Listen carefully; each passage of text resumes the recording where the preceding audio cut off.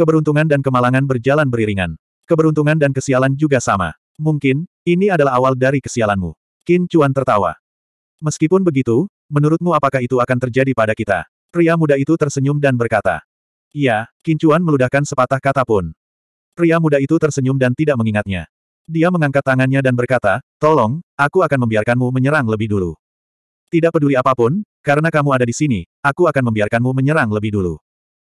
Kata-katanya jelas. Biarkan Anda menyerang lebih dulu, jika tidak, Anda bahkan tidak akan bisa menyerang. Betapa menyesalnya. Kincuan tersenyum dan mengangguk. Lalu, dia pindah. Dia mengambil langkah maju dan meninju keluar. Tinju kuali emas harimau naga. Naga dan harimau itu meraung. Sebuah kuali emas, seekor naga dan seekor harimau, ditemani oleh dua sisi, menyerang pemuda itu dengan kekuatan dahsyat. Trik kecil, kamu melebih-lebihkan dirimu sendiri. Sudut mulut pemuda itu meringkuk menjadi senyuman dingin, dan dia tiba-tiba meninju juga. Tinju serigala berbisa. Dia meninju, dan kepala serigala hitam pekat muncul di tinjunya. Itu terlihat sangat aneh pada saat ini, dan mengeluarkan bau busuk. Mata kincuan acuh tak acuh. Dia masih meninju dan menghela nafas di dalam hatinya.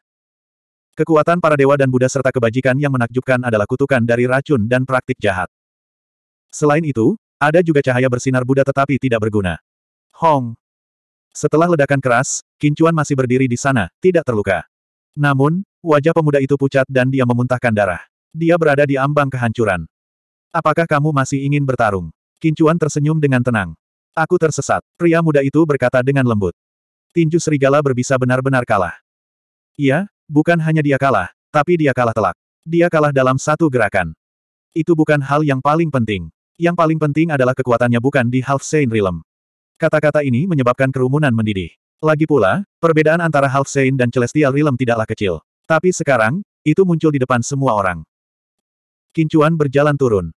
Kincuan pergi ke kiri, dan pemuda itu ke kanan. Waktu berlalu sedikit demi sedikit. Tidak lama kemudian, Tuan Muda kedua Tang naik ke atas panggung. Saat dia naik ke atas panggung, lawannya adalah pria kekar yang memegang sepasang palu bundar besar.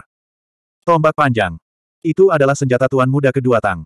Itu adalah tombak yang bersinar dengan cahaya dingin, dengan ukiran naga perak yang hidup di atasnya.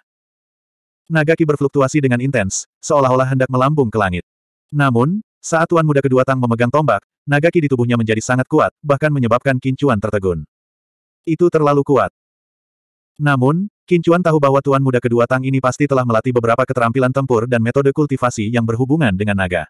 Itu harus menjadi salah satu yang sangat kuat. Mengaum. Pertempuran dimulai. Tombak naga menyapu, disertai dengan bayangan naga yang bergegas keluar, dengan kejam menghancurkan semua yang ada di jalurnya. Lawan menggunakan palu besar, tetapi tersapu oleh tombak naga dalam sekejap. Saya mengaku kalah. Setelah menyelesaikan pertempuran dengan satu gerakan, Tuan Muda kedua Tang melirik Kincuan. Segera, putaran itu berakhir. Ada 250 orang di kiri dan 250 orang di kanan. Orang-orang di sebelah kiri menang, sedangkan orang-orang di sebelah kanan kalah. Namun, bukan berarti semua orang di sebelah kiri lebih kuat daripada orang di sebelah kanan. Beberapa orang tidak beruntung dan awalnya sangat kuat, tetapi mereka bertemu dengan seseorang yang lebih kuat dan tersesat. Ini juga untuk mencegah beberapa orang menjadi tidak beruntung. Oleh karena itu, pada babak selanjutnya, 250 orang di kiri dan 250 orang di kanan diundi lagi. Jika mereka kalah kali ini, mereka akan langsung tersingkir. Tidak perlu mengatakan bahwa mereka tidak beruntung. Keberuntungan juga merupakan bentuk kekuatan. Jika mereka tidak beruntung, mereka tidak bisa menyalahkan orang lain. Kenyataannya adalah bahwa mereka telah kalah. Setelah satu putaran, 125 orang langsung tersingkir. Kemudian, orang-orang di sebelah kiri menang. Kincuan dan si gemuk menang dengan mudah. Old He dan Second Yang Master Tang sama-sama menang dengan satu gerakan. Di saat yang sama, ada dua orang remaja putri yang juga menang dengan satu jurus. Ini menarik banyak perhatian. Bagaimanapun, mereka cantik dan kuat. Bahkan mata Tuan Muda kedua Tang berbinar ketika dia melihat mereka. Hanya ada dua jenis orang di dunia, pria dan wanita. Menyukai wanita adalah naluri alami. Di pihak yang menang, 125 orang lainnya gagal. 125 orang yang gagal ini masih memiliki satu kesempatan. Mereka akan bersaing dengan 125 orang di sebelah kanan. Jika kalah, mereka akan langsung tersingkir. Sebenarnya, setiap orang hanya memiliki satu kesempatan untuk gagal. Di pihak yang gagal, mereka tidak bisa gagal lagi. Jika mereka gagal, mereka hanya akan tersingkir. Beberapa orang senang dan beberapa orang sedih. Yang menang senang dan yang kalah tertekan. Setelah babak ini, 125 orang lainnya tersingkir. Sekarang, ada 125 orang di kiri dan 125 orang di kanan. Orang-orang di sebelah kiri tidak pernah kalah, sementara orang-orang di sebelah kanan pernah kalah sekali. Itu masih sama untuk pemenang dan pecundang. Di antara 125 orang di sebelah kanan, begitu kalah, mereka akan langsung tersingkir. Oleh karena itu, setelah satu putaran, hanya tersisa 75 orang. Persaingan di sebelah kiri dimulai. Segera, giliran si gemuk. Si gendut kini menjadi sosok yang berpengaruh. Dia sangat gemuk dengan tongkat besar. Dia sangat kuat, apalagi dia terlihat sederhana dan jujur. Dia adalah orang yang santai. Banyak orang bergaul baik dengannya. Dia cukup populer. Lawan si gendut adalah seorang wanita. Dia adalah salah satu dari dua wanita cantik. Dia melihat kerutan lemak itu. Bukannya dia membencinya, tapi dia tidak ingin melawannya. Dia tahu bahwa lemaknya kuat. Lemak itu sangat tenang. Pertempuran dimulai. Wanita itu memegang pedang panjang di tangannya sementara si gendut memegang tongkat besar di tangannya. Bum bum. Lemak itu sangat gesit. Dia sangat cepat dan memiliki kekuatan kekerasan. Dia langsung menekan lawannya. Wanita itu tidak bisa membalikkan keadaan. Dia nyaris tidak bisa bertahan, tapi itu juga sangat berbahaya. Lagi pula, jika dia ceroboh, dia pasti akan terluka. Dikatakan bahwa pertahanan terbaik adalah serangan. Meski pertahanan wanita itu sangat bagus, dia tetap gagal. Dia melihat lemak dengan kepahitan tersembunyi. Si gemuk tersenyum jujur. Bukan karena si gendut tidak tahu bagaimana melindungi kaum hawa. Saat ini, siapa pun yang melindungi seks yang lebih adil adalah orang bodoh. Segera, Giliran Kincuan. Orang yang bertarung mengejutkan Kincuan. Tuan muda kedua Tang. Dia adalah orang yang paling populer dan selalu menjadi nomor satu. Kincuan tidak ingin bersaing dengannya. Bukannya dia takut tapi dia tidak ingin menjadi pusat perhatian. Itu karena dia tidak akan merasa baik jika kalah dan akan terlalu mencolok jika dia menang. Ini membuat Kincuan merasa bertentangan. Pemuda ini hanya berada di alam surgawi. Sayang sekali dia bertemu Tuan Muda Tang. Kalau tidak, dia mungkin benar-benar bisa memasuki Sekte Naga Ilahi. Bahkan jika dia kalah, dia masih punya kesempatan. Bukan berarti dia tidak punya kesempatan. Kemungkinan kalah tidak tinggi. Orang yang tersisa semakin kuat dan kuat. Tuan Muda Tang memandang Kincuan dan tersenyum. Kamu sangat spesial. Tidak mudah bagimu untuk mencapai tahap ini. 1222. Kincuan tidak mengatakan apa-apa dan hanya tersenyum. Ini membuat Tuan Muda Tang tidak senang. Dia memandang Kincuan dan tidak tahu mengapa, tetapi dia tidak suka penggarap alam surgawi begitu tenang di depannya. Akui saja kekalahan, aku benar-benar tidak ingin menggertakmu. Tuan Muda Tang berkata. Qin Chuan menatapnya. Pihak lain sangat tenang, seolah-olah dia memandangnya dari posisi yang lebih tinggi. Awalnya, Qin Chuan tidak ingin terlalu menonjol. Tapi sekarang dia merasa mungkin dia bisa mempertimbangkannya. Jika dia terlalu luar biasa, akan ada kerugian. Namun, ada manfaatnya juga. Jika dia diperhatikan oleh seorang ahli, dia akan menerima perawatan dan sumber daya khusus. Semuanya memiliki dua sisi. Tidak mungkin hanya memiliki keuntungan tanpa kerugian, dan juga tidak mungkin hanya memiliki kerugian tanpa keuntungan. Apakah seseorang mengatakan bahwa kamu banyak bicara omong kosong? Kincuan bertanya. Kata-katanya menyebabkan lingkungan menjadi sunyi. Banyak orang mengenal Tuan Muda Tang. Bahkan jika mereka tidak mengenalnya, dua putaran sebelumnya memberinya reputasi yang kuat. Selain beberapa ronde sebelumnya, dia telah memenangkan semuanya dengan satu gerakan. Meskipun Kincuan juga menang, nilai dari pertempuran ini berbeda. Selanjutnya, orang-orang di sekitar mendiskusikan Tuan Muda Tang. Mereka tahu bahwa Tuan Muda Tang adalah anggota klan Tang Kota Naga Ilahi, keturunan langsung, seorang jenius dengan pencapaian masa depan yang tak terbatas. Oleh karena itu, semua orang membabi buta mengikutinya. Sebenarnya banyak orang yang sudah kaget dengan kultivasi dan latar belakang Tuan Muda Tang. Ekspresi Tuan Muda Tang benar-benar jelek. Dia merasa seperti kehilangan wajahnya. Dia ingin mendapatkan beberapa wajah di depan orang lain, terutama beberapa gadis. Mungkin dia bisa memeluk mereka di masa depan. Namun, dia telah kehilangan wajahnya sekarang. Orang tidak takut berdarah atau terluka, tetapi mereka takut diintimidasi dan kehilangan muka. Jika diintimidasi tidak baik, kehilangan muka bahkan lebih buruk. Setelah diintimidasi tidak baik, itu akan mempengaruhi kultivasi seseorang. Tidak apa-apa jika seseorang ditentukan, jika tidak, itu akan berdampak besar. Tuan Muda Tang adalah seorang jenius, tetapi jalannya mulus. Pada dasarnya, dia tidak mengalami terlalu banyak kemunduran. Dia selalu tumbuh dalam pujian orang lain. Ke mana pun dia pergi, dia menjadi pusat perhatian. Dia bangga. Kapan dia pernah dikritik seperti itu? Kata-kata Kincuan menyebabkan wajah Tuan Muda Tang menjadi gelap. Dia segera ingin membunuh Kincuan. Dia sangat membenci Kincuan. Kincuan menggelengkan kepalanya. Dia benar-benar tidak mengerti mengapa orang seperti itu bisa mencapai alam semi bijak. Itu adalah keajaiban. Ini juga menunjukkan bahwa keluarga Tuan Muda Tang sangat kuat. Jadi, Tuan Muda Tang tidak mengalami kemunduran. Kamu akan menyesal mengatakan itu. Kekejaman melintas di mata Tuan Muda Tang. Ketika Kincuan melihat ini, dia menghela nafas dan bergerak. Tampaknya orang seperti ini perlu diberi beberapa kemunduran. Jika dia tidak bisa mengatasi kemunduran ini, maka dia memintanya. Menempa palu pedang dewa. Palu tempa Yin Yang. Kincuan menyerang dengan palunya, ringan seperti bulu, seolah-olah terbawa angin. Tidak ada setitik debu pun di atasnya, anggun dan alami. Mem. Perasaan ini membuat Tuan Muda Tang sangat tidak nyaman. Serangan lawannya seperti angin sepoi-sepoi, dan dia tidak merasakan bahaya sama sekali. Situasi abnormal inilah yang membuatnya merasa tidak nyaman. Pasti ada alasan di balik ketidaknormalan ini. Huff. Tuan Muda Tang mendengus dingin dan menusukkan tombaknya ke depan. Mengaum. Raungan naga yang keras bisa terdengar. Kemudian, seekor naga putih perak menyerang Kincuan. Itu sangat kejam. Kincuan memandang naga putih dan menggelengkan kepalanya. Aura dari tubuhnya melonjak hebat. Putra surga berubah menjadi naga. Mengaum. Raungan naga yang lebih mengejutkan bisa terdengar. Seekor naga dewa emas ditembakkan. Kedua naga itu sebenarnya adalah ilusi, tetapi mereka tampaknya memiliki substansi. Hanya saja naga ilahi Kincuan tampak lebih besar. Ledakan. Naga putih menghilang, sementara naga dewa emas terus menyerang Tuan Muda Tang. Tuan Muda Tang terkejut dan terpana. Dia tidak menyangka lawannya mahir dalam teknik kultivasi dan teknik bertarung yang berhubungan dengan naga. Selain itu, tampaknya lebih kuat dari miliknya. Bagaimana ini mungkin? Setelah langkah itu, meskipun tampaknya Kincuan lebih unggul, tidak ada yang merasa bahwa Kincuan lebih kuat dari Tuan Muda Tang. Bagaimanapun, salah satunya berada di alam abadi. Bahkan jika dia berada di puncak alam abadi, dia masih berada di alam abadi. Di sisi lain, Tuan Muda Tang adalah seorang setengah suci. Pada saat ini, Tuan Muda Tang sangat marah. Seolah-olah dia telah menderita penghinaan yang fatal. Dia melambaikan tombaknya dan menyerbu ke arah Kincuan.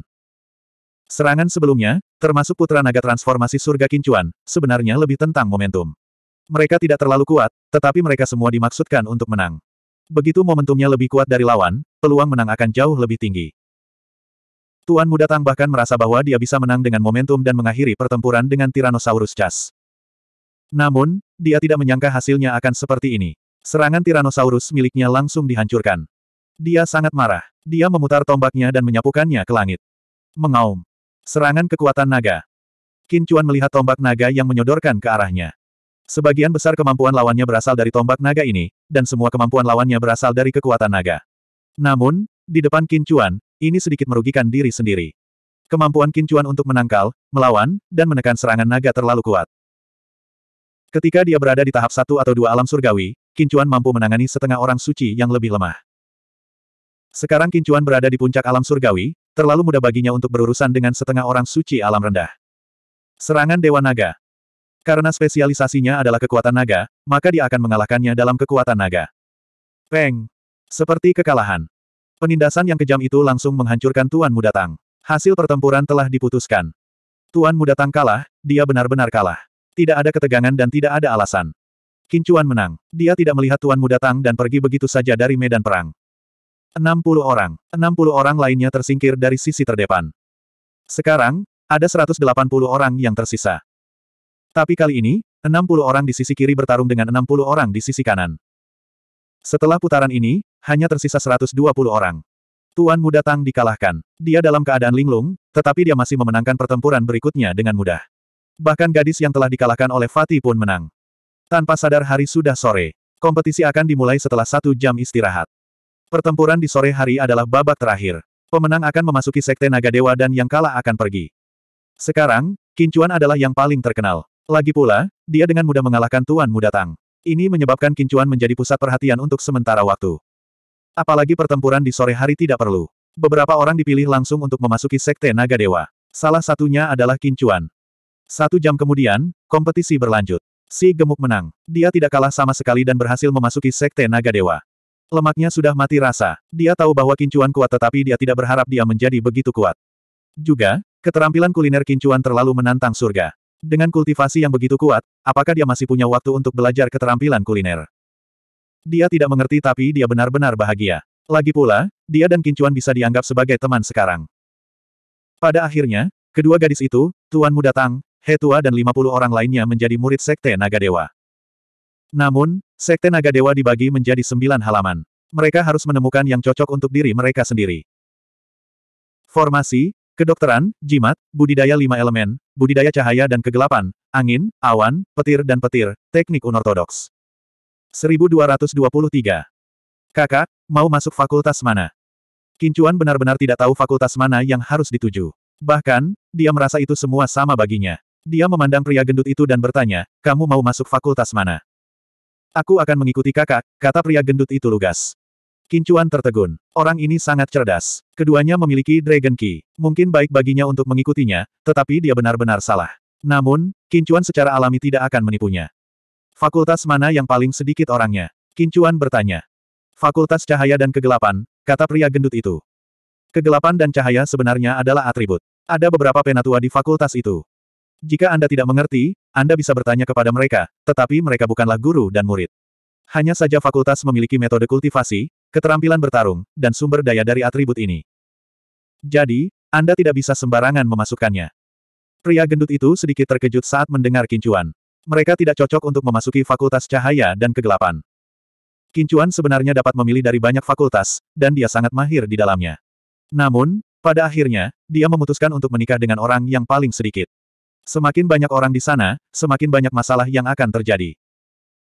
Kakak, jika kamu ingin pergi ke Fakultas Cahaya dan Kegelapan, aku akan pergi denganmu, kata pria gendut itu. Mengapa itu tidak cocok untukmu? Kata Kincuan. Aku tahu. Sebenarnya, itu tidak akan memengaruhi kultivasimu di fakultas mana pun, kata lelaki gendut itu. Meski begitu, lebih baik menemukan yang cocok untukmu. Kincuan menggelengkan kepalanya dan berkata. Bagaimana dengan kakak? Kincuan memikirkannya dan berkata, lupakan, kamu bisa ikuti aku. Pria gendut itu tertawa dan berkata, oke. Okay. Sekte Dewa Naga sangat santai tentang hal ini. Mereka bisa memilih fakultas mana yang akan dituju. Fakultas Cahaya dan Kegelapan. Ada 50 orang di 9 fakultas. Rata-rata, ada kurang dari enam orang. Tiga fakultas formasi, jimat, dan dokter tidak merekrut orang. Mereka direkrut secara khusus. Jadi, hanya ada enam fakultas dengan 50 orang. Rata-rata, ada lebih dari delapan orang. Fakultas terang dan kegelapan memiliki jumlah orang paling sedikit, tetapi mereka masih memiliki lebih banyak orang daripada mereka yang berspesialisasi dalam formasi, jimat, dan dokter. Kali ini, selain Kincuan dan Fatih, ada juga seorang pemuda kurus. Dia sangat cerah dan cerah, tetapi dia tampak agak sakit. Matanya sangat besar. Ketika dia melihat Kincuan dan Fatih, dia tersenyum dan menyapa, Saudaraku, namaku Cahaya Putih. Apakah kalian juga pergi ke Fakultas Cahaya dan Kegelapan? Kincuan tersenyum dan mengangguk. Iya, saya Kincuan, dan dia gendut. Fatih sangat populer, dan White Light ini juga sangat cerewet. Bahkan sebelum mereka mencapai cabang terang dan kegelapan, mereka bertiga sudah akrab satu sama lain. Kali ini, hanya ada tiga orang. Gerbang Fakultas Cahaya dan Kegelapan sangat sederhana dan tanpa hiasan. Itu juga sangat aneh. Ketika Kincuan melihatnya, dia tertegun. Separuhnya adalah pintu hitam, separuh lainnya adalah pintu putih. Itu hampir menjadi sekte Taiji. Tempat ini sangat sepi, dan bahkan tidak ada penjaga di pintu. Ada beberapa kata besar di atas pintu, Radiance and Darkness Brand. Ini berarti beberapa dari mereka berjalan di tempat yang tepat. Mereka bertiga berjalan ke cabang cahaya dan kegelapan dan bertemu dengan beberapa orang. Orang-orang ini semuanya adalah An Hongqi, dan mereka melihat mereka bertiga. Light Light menemukan seseorang dan berinisiatif untuk bertanya. Kemudian, mereka bertiga pergi ke kantor pendaftaran. Orang yang menerima mereka bertiga adalah orang tua yang sangat baik. Dia adalah seorang penatua yang suka minum ketika dia tidak melakukan apa-apa. Dia bertanggung jawab atas beberapa hal sepele di cabang cahaya dan kegelapan. Ketika Kincuan melihat lelaki tua ini, dia sedikit terpana. Orang tua ini tidak sederhana, tetapi dia sangat baik, memberikan kesan yang baik kepada orang-orang tentang dia. Dia sangat ramah, mengingatkan Kincuan pada kakeknya sendiri. Kincuan tahu bahwa tetua ini menyukai anggur dari kakak senior sebelumnya. Dia tersenyum dan mengeluarkan genangan anggur bunga prem. Orang tua, ini untukmu. Orang tua itu tertegun. Meskipun beberapa ini baru, seseorang mungkin mengatakan kepada mereka bahwa dia menyukai anggur. Dia mengambil napas dalam-dalam dan matanya menyala. Dia mengambilnya dan membuka toplesnya. Seketika, aroma memenuhi udara, membuat orang merasa seperti sedang mandi di angin musim semi. Anggur yang enak. Pria tua itu memuji. Dia tidak bisa membantu tetapi minum seteguk. Wajahnya dipenuhi dengan keracunan. Kemudian, dia dengan hati-hati menyegel mulutnya dan menyimpannya, memperlakukannya seperti harta karun. Dengan sangat cepat, mereka bertiga menyelesaikan prosedurnya. Orang tua itu secara pribadi membawa mereka untuk mengambil pakaian mereka dan kemudian pergi ke cabang kegelapan untuk melapor kepada dekan. Di aula besar. Memang ada sangat sedikit orang di cabang kegelapan, mungkin kurang dari seratus. Dekan dan beberapa sesepuh. Oh, Elder Yu, mengapa kamu ada di sini? Suara yang sangat elegan terdengar. Kincuan gemetar. Suara yang familiar. Dia mengangkat kepalanya dan tertegun. Alisnya seperti gunung yang jauh, matanya seperti bintang dan bulan, gemerlap tapi lembut. Bibir seksinya tak terlukiskan elegan dan indah. Gigi seputih saljunya bersih. Sosoknya ramping dan memancarkan aura surgawi yang mengejutkan. Dia seperti seorang dewi yang turun dari langit berbintang yang luas. Auranya halus dan elegan. Bangsawan tidak cukup untuk menggambarkannya. Raja Iblis sebenarnya adalah wanita ini. Saat wanita itu melihat Kincuan, dia juga tertegun. Dia benar-benar tidak berpikir bahwa dia akan dapat melihat Kincuan lagi. Dia bahkan hampir melupakan Kincuan. Dia tidak berpikir bahwa dia akan muncul di depannya begitu saja. Mereka benar-benar bertemu satu sama lain di mana-mana. Penatua Anda pergi. Sebelum dia pergi, dia bahkan mengucapkan kata-kata yang baik untuk Kincuan dan yang lainnya. Dia menepuk bahu Kincuan. Orang tua, ini untukmu. Ketika kamu kehabisan anggur di masa depan, aku akan memberimu lebih banyak. Kincuan mengeluarkan dua toples besar dan memberikannya kepada lelaki tua itu. Orang tua itu tertegun. Dia dengan senang hati menerima Gucci dan tersenyum. Anak baik, jika kamu memiliki masalah di masa depan, cari aku. Selama kamu tidak melakukan sesuatu yang terlalu keterlaluan di Sekte Naga Ilahi, aku akan mengurus semuanya untukmu. Pria tua itu tersenyum dan menepuk pundak Kincuan sebelum pergi. Kincuan tersenyum. Kalimat ini bukanlah sesuatu yang bisa dikatakan oleh sembarang orang. Dia tahu bahwa lelaki tua itu sangat kuat, tetapi dia tidak berpikir bahwa dia akan sekuat ini. Kalimat itu bukanlah sesuatu yang bisa diucapkan oleh sembarang orang. Kincuan memandang Raja Iblis dengan senyum di wajahnya. Sudah berapa tahun sejak mereka terakhir bertemu? Pertama kali dia melihatnya dalam susunan besar. Wanita ini dipenjara selama seratus tahun. Dialah yang menyelamatkan wanita ini. Belakangan, mereka bahkan mengalami keterikatan. Meskipun mereka tidak menjalin hubungan apa pun, menciumnya sedikit tidak terduga. Namun, hubungan keduanya agak aneh. Sebenarnya, Kincuan tidak merindukannya di dalam hatinya. Faktanya, dia bahkan tidak memikirkannya selama ini. Hanya saja melihatnya sekarang, dia mengingat beberapa hal lama. Lama tak jumpa, Kincuan ragu-ragu untuk waktu yang lama sebelum akhirnya mengeluarkan empat kata ini. Raja Iblis memandang Kincuan dan sedikit gemetar. Akhirnya, dia tersenyum dan berkata, lama tidak bertemu. Kakak, kalian saling kenal. Fatih berkata dengan heran. Meskipun White Light tidak berbicara, dia juga sangat terkejut. Raja Iblis memanggil seseorang untuk mengatur penginapan bagi Kincuan dan yang lainnya. Sekte Naga Ilahi adalah keluarga besar. Setiap orang memiliki halaman kecil. Kincuan benar-benar ingin mengatakan sesuatu kepada Raja Iblis. Bagaimanapun, mereka pernah sangat intim. Itu harus dianggap sangat intim. Sekarang, itu sangat canggung. Dia tidak tahu mengapa dia merasa sedikit tidak nyaman. 1224 Kincuan sebenarnya ingin berbicara dengan Raja Iblis dan mengenang masa lalu, tetapi melihat Raja Iblis tidak bergerak, dia ragu-ragu dan kembali ke halaman kecil. Dalam hal perasaan, berkali-kali, Kincuan bersikap pasif. Awalnya, hubungannya dengan Raja Iblis tidak terlalu dalam, tetapi bagi Raja Iblis, Kincuan sama sekali tidak bisa dilupakan, karena dia telah diselamatkan oleh Kincuan dua kali. Pertama kali, jika Kincuan tidak menyelamatkannya, dia tidak tahu apakah dia bisa menanggungnya.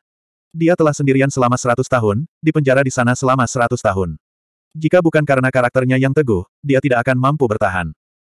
Kedua kalinya, dia langsung menyelamatkan nyawanya. Dia terluka parah, dan dia akan bunuh diri. Pada saat itulah Kincuan menciumnya, menghentikan bunuh dirinya.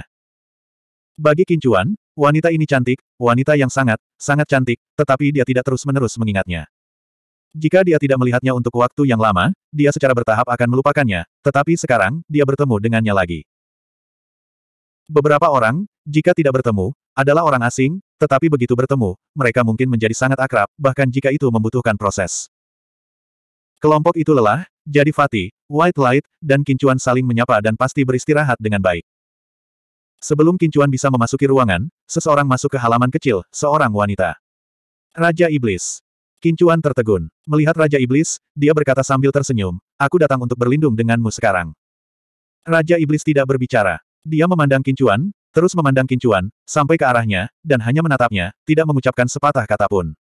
Kincuan sedikit bingung. Dia tidak tahu kenapa, tapi dia sedikit bingung. Apakah aku benar-benar tidak punya tempat di hatimu? Raja Iblis berkata dengan lembut. Saat dia mengatakan ini, pinggiran matanya menjadi merah. Sebuah tempat di hati Kincuan terpukul, tempat yang agak lunak. Wanita ini sudah mengatakan ini, jadi Kincuan secara alami mengerti segalanya dan memeluknya. Tapi Raja Iblis tetap tidak bergerak, membiarkannya memeluknya. Kincuan melepaskannya dan dengan canggung menatapnya, tidak tahu harus berkata apa. Dia awalnya percaya bahwa Raja Iblis akan memeluknya dengan erat, tapi dia tidak bergerak. Ini membuatnya bertanya-tanya apa yang dipikirkan wanita ini. Setelah beberapa lama, Raja Iblis menghela nafas dan menatap Kincuan. Kincuan menggaruk kepalanya. Dia selalu memiliki lidah yang tajam, tetapi sekarang dia merasa tidak bisa mengatakan apa-apa. Kamu tidak punya apa-apa untuk dikatakan kepadaku. Kata Raja Iblis dengan lembut. Apakah kamu baik-baik saja? Kincuan menggaruk kepalanya. Pak. Raja Iblis dengan marah mengetuk kepala Kincuan, lalu memimpin jalan ke dalam ruangan. Qin Chuan tersenyum. Dia tahu bahwa wanita ini telah melampiaskan emosinya dan tidak akan membuat ulah lagi. Memasuki ruangan, Raja Iblis menatap Qin Chuan, matanya perlahan berubah lembut. Apakah kamu baik-baik saja beberapa tahun terakhir ini? En, aku baik-baik saja. Aku sangat senang bisa melihatmu di sini. Qin Chuan tersenyum. Aku benar-benar tidak berharap kamu tidak memiliki tempat untukku di hatimu, dasar genit. Raja Iblis memandang. Qin Chuan tersenyum canggung. Bagaimana mungkin? Aku memikirkanmu selama ini. Raja Iblis menggelengkan kepalanya. Kamu tidak bisa berbohong padaku karena aku seorang wanita. Intuisi seorang wanita sangat menakutkan. Kamu belum menjadi wanita. Qin Chuan memandang Raja Iblis dan berkata dengan ragu. Raja Iblis tertegun. Jika aku bukan seorang wanita, apakah aku seorang pria? Kamu perempuan, En, perempuan, kata Kincuan dengan serius. Raja Iblis memahami kata-kata Kincuan dan tersipu. Kenapa kamu bajingan seperti itu? Apakah kamu lelah? Apakah kamu ingin istirahat? Raja Iblis bertanya. Aku tidak lelah, ceritakan tentang Sekte Naga Ilahi, ceritakan kisahmu. Kata Kincuan. Raja Iblis mengangguk. Raja Iblis sekarang adalah kepala cabang cahaya dan kegelapan. Itu adalah kebetulan bahwa dia datang ke sini karena dia telah memperoleh kesempatan khusus dan mengembangkan kekuatan ilahi Yin Yang dan Dao besar Yin Yang. Terus terang, itu mirip dengan Yin Yang Grid Dao Kincuan. Namun, ranahnya berbeda, pemahamannya berbeda, dan tidak ada diagram Yin Yang. Faktanya, metode kultivasi, teknik bela diri, kekuatan ilahi, dan Dao Agung yang sama dapat dikembangkan dalam ribuan bentuk berbeda oleh orang yang berbeda. Pemahaman setiap orang berbeda, jadi tentu saja hasilnya akan berbeda. Namun, semuanya sama, jadi intinya tetap sama. Kekuatannya telah meningkat pesat dan dia mengembangkan Yin Yang Grid Dao. Menjadi kepala cabang cahaya dan kegelapan tidaklah buruk. Kultivasinya sudah kuat, tetapi ketika Kincuan pertama kali bertemu dengannya, dia telah dipenjara selama seratus tahun. Bukannya dia tidak mendapatkan apa pun selama seratus tahun itu. Apa yang mengubah nasib Raja Iblis adalah seratus tahun penjara itu. Dia bisa memikirkan banyak hal dan memahami banyak hal selama seratus tahun itu. Dia telah mengumpulkan banyak pengalaman dan mendapatkan peluang besar di kemudian hari. Bagaimanapun, ini adalah Sekte Dewa Naga, dan Raja Iblis bisa menjadi kepala salah satu dari sembilan akademi. Orang bisa membayangkan kekuatannya. Raja Iblis menceritakan kisahnya secara sederhana dan kemudian melanjutkan untuk memberitahu Kincuan tentang Sekte Dewa Naga. Sekte Dewa Naga adalah penguasa dunia terdekat. Master Sekte dari Sekte Dewa Naga tidak muncul selama 200 tahun. Sekarang, orang yang bertanggung jawab adalah Tetua Agung. Tetua Agung bertanggung jawab atas Dewan Tetua, yang merupakan dasar dari Sekte Dewa Naga. Dewan Tetua biasanya tidak mengatur urusan Sekte Dewa Naga. Sembilan akademi masing-masing mengelola akademi cabang mereka sendiri. Dewan Tetua terutama bertanggung jawab atas keselamatan dan urusan eksternal Sekte Dewa Naga. Sekte Dewa Naga sebenarnya tidak terlalu damai secara internal. Itu adalah sekte yang sangat besar, dan persaingan internal sangat sengit. Semua sumber daya diperebutkan, dan ada pertempuran tanpa akhir antara seniman bela diri. Selama seseorang tidak dengan sengaja melumpuhkan atau membunuh seseorang, itu baik-baik saja. Sekte besar memiliki banyak sumber daya, tetapi mereka memiliki lebih banyak ahli. Memperoleh sumber daya sama sulitnya dengan naik ke surga. Jadi, di Sekte Dewa Naga, mereka yang tidak memiliki kekuatan masih berada di bawah. Di dunia seniman bela diri, kekuatan berbicara lebih keras. Prinsip ini tidak akan pernah berubah.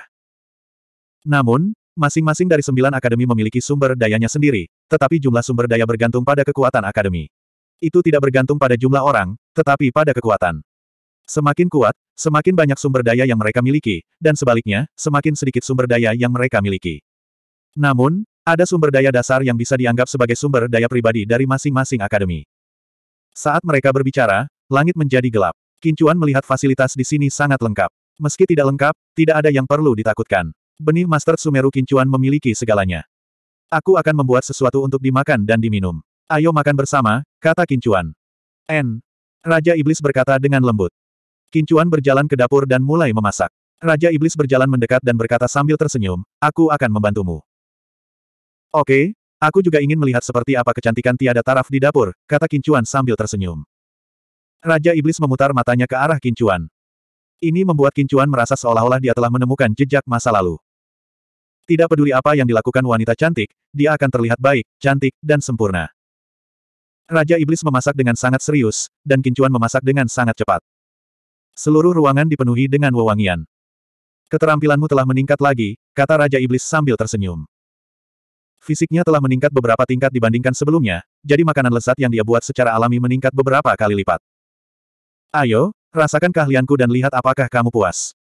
Piring disajikan, memenuhi meja. Dia membuka sebotol anggur bunga prem dan menuangkan secangkir untuk setiap orang. 1225. Raja Iblis mendentingkan cangkir dengan kincuan. Anggurnya adalah anggur yang enak, makanannya enak, tapi pria itu adalah pria yang paling tidak bisa dia lupakan. Kincuan makan sangat sedikit dan sangat lambat. Dia menghabiskan sebagian besar waktunya menonton Raja Iblis makan. Dia makan dengan sangat elegan, meskipun makanannya enak. Dia tidak makan perlahan, tidak sengaja melakukan apa pun, tapi terlihat anggun. Apa yang kamu lihat? Raja Iblis merasa agak tidak nyaman di bawah tatapan Kincuan. Kincuan tersenyum. Setelah bertahun-tahun, apakah kamu tidak menemukan pria yang kamu sukai? Kincuan merasa bahwa dia telah mengatakan sesuatu yang salah dan tersenyum canggung. Apakah kamu benar-benar berharap aku dapat menemukan seorang pria? Raja Iblis dengan acuh tak acuh berkata, tetapi matanya yang indah tertuju pada Kincuan. Aku harap kamu tidak akan pernah menikah. Kata Kincuan dengan canggung. Raja Iblis menertawakan kata-kata Kincuan. Apakah ada orang yang kejam sepertimu? Apakah Anda ingin saya menjadi tua sendirian, tidak memiliki siapa pun untuk diandalkan? Pada titik ini, Raja Iblis mengingat masa lalunya, dan pandangannya pada Kincuan semakin lembut. Jika bukan karena pria ini, dia benar-benar akan menjadi tua sendirian, benar-benar tidak memiliki siapa pun untuk diandalkan, dan mati dalam kesepian. Tetapi orang ini bahkan tidak memiliki tempat untuknya di dalam hatinya, yang membuatnya sangat jengkel. Apa kekurangannya? Dia bahkan telah dicium olehnya, jadi mengapa dia tidak memilikinya di dalam hatinya? Memikirkan hal ini, dia merasakan gelombang kesedihan di hatinya, dan pandangannya ke arah Kincuan menjadi kesal. Kincuan merasakan bahwa Raja Iblis memiliki perasaan padanya, tetapi ketika dia memeluknya, dia acuh tak acuh. Dia tidak tahu harus berkata apa, dia juga tidak tahu harus berkata apa. Keduanya merasa seolah-olah tidak bisa dipotong. Kincuan, terima kasih untuk makan malamnya. Raja Iblis berdiri. Dia harus kembali dan menenangkan diri. Pikirannya sedang kacau. Kakak, tidak perlu bersikap sopan, kata Kincuan. Kincuan mengirim Raja Iblis keluar dari halaman. Cahaya bulan seperti air, semuanya diam. Malam itu sedikit dingin, dan angin sepoi-sepoi mengacak-acak rambut Raja Iblis, menambah pesona dan daya pikatnya. Dia berbalik untuk melihat Kincuan, dan kemudian dengan lembut menundukkan kepalanya. Bulu matanya bergetar, dan pinggiran matanya memerah. Dia menghela nafas pelan dan berbalik untuk pergi. Kincuan merasa sedikit tercekik di hatinya. Dia tidak tahu mengapa, tetapi dia merasa sedikit sakit hati ketika dia memeluknya dan melihatnya dalam keadaan sebelumnya. Raja Iblis sudah pergi, dan Kincuan melihat sosoknya menghilang di kejauhan. Sambil mendesah, dia kembali ke kamarnya dan bola-balik, tidak bisa tidur. Dia mungkin juga mempelajari jimat. Ketika seseorang dalam suasana hati yang buruk, terkadang hal-hal lain akan berjalan lancar. Kemajuan kincuan dengan jimat itu sangat mulus saat ini. Hal-hal yang dulunya sedikit berat kini berjalan lancar. Perlahan-lahan, kincuan tampaknya memasuki keadaan terlupakan, melupakan berlalunya waktu. Engah. Ketika perasaan yang akrab datang, kincuan tertegun. Dia menemukan bahwa di luar sudah terang. Kemampuan jimat telah menembus. Jimat tingkat 11. Pada saat yang sama, kultivasinya telah mencapai lingkaran lengkap alam surgawi. Dia masih cukup jauh dari Half Saint, tapi dia harus memakannya sedikit demi sedikit. Selain itu, dia tidak takut pada Half Saint biasa. Keesokan harinya, Kincuan, Fatih, dan White Light berjalan mengelilingi cabang cahaya dan kegelapan untuk membiasakan diri dengan situasi di sini.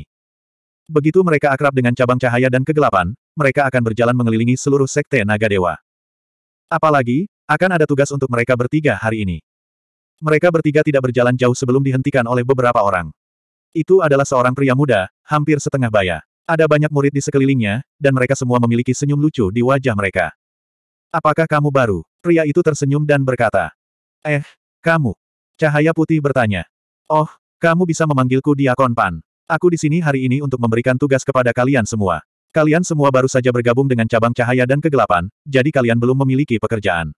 Setiap murid memiliki pekerjaan. Pria itu tersenyum. Oh, kalau begitu Deken Pan, apa tugas kita? Cahaya putih bertanya. Tugas pendatang baru sebenarnya sama. Setiap pendatang baru datang, mereka harus mengambil alih salah satu tugas murid lama, yaitu membersihkan jamban. Diakon Pan berkata. Kincuan tertegun. Sekte seperti Sekte Naga Dewa harus memiliki pelayan atau semacamnya. Pekerjaan semacam ini seharusnya tidak dilakukan oleh para murid. Kincuan melihat senyuman di sudut mulut Deken Pan, serta senyuman dari beberapa murid tua di sekitar mereka. Itu semacam tak terkendali, itu semacam senyum mengejek. Kincuan mengerti. Sekte besar terkadang sangat membosankan. Sebenarnya, tidak perlu bagi siapa pun untuk melakukan hal seperti itu, tetapi untuk menemukan kesenangan dan keunggulan, posisi ini dipertahankan. Di permukaan, tampaknya sangat tinggi, dan melatih keuletan dan kemampuan bertahan hidup orang. Karena terkadang lingkungan keras yang mereka hadapi jauh lebih menjijikkan daripada jamban, ini juga untuk melatih orang. Faktanya, di delapan cabang lain dari Sekte Naga Dewa, posisi ini juga disimpan untuk dilakukan oleh beberapa murid batin. Jika mereka tidak mau melakukannya, mereka dapat menggunakan kekuatan mereka untuk membuktikan diri. Posisi jamban sangat memalukan dan menjijikkan, jadi agar tidak ditugaskan ke posisi ini, semua orang bekerja keras untuk berkultivasi. Dengan cara ini, saat kekuatan mereka meningkat, mereka tidak harus ditempatkan di posisi jamban, dan mereka masih bisa menonton kesenangannya. Seberapa hebat itu? Kincuan dan dua lainnya sedikit mengernyit. Posisi ini secara alami tidak memiliki siapa pun yang menginginkannya. Mereka ingat bahwa dahulu kala, Kincuan pernah menghadapi situasi seperti itu. Dia juga pergi ke sekte untuk diberi posisi, mengambil kotoran, yang sebenarnya sama dengan ini. Mengapa tidak? Ekspresi Deken Pan tiba-tiba menjadi tegas. Deken Pan, bisakah kamu membuat pengecualian? Light Light maju dan mengeluarkan beberapa kristal roh dan diam-diam menyerahkannya kepada Deken Pan. Wajah Deken Pan menjadi lebih jelek, dan dia mendorong White Light menjauh. Apa maksudmu, apakah aku orang seperti itu? Light Light sangat malu. Kincuan memandangi Deken Pan dan berkata, bagaimana posisi ini ditetapkan? Menurut kualifikasi, menurut kekuatan. Deken Pan melirik Kincuan dan berkata dengan dingin. Deken Pan, apakah ada cara untuk mengubah posisi? Kincuan bertanya. Bukan berarti tidak ada jalan. Deken Pan memandang Kincuan dengan sedikit kesenangan di matanya. Oh, tolong katakan, Deken Pan. Kincuan berkata dengan sopan.